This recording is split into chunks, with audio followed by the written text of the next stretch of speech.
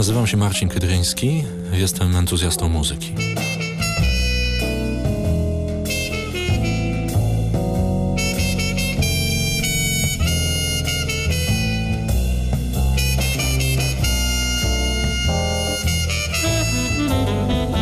Myślę, że w życiu każdego człowieka jest czas poszukiwania i czas, kiedy trzeba w końcu coś odnaleźć.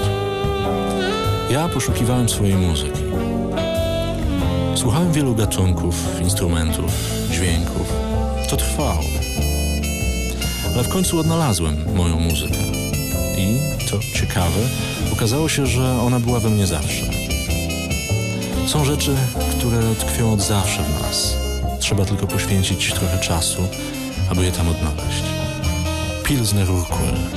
Dobry smak rodzi się z czasem.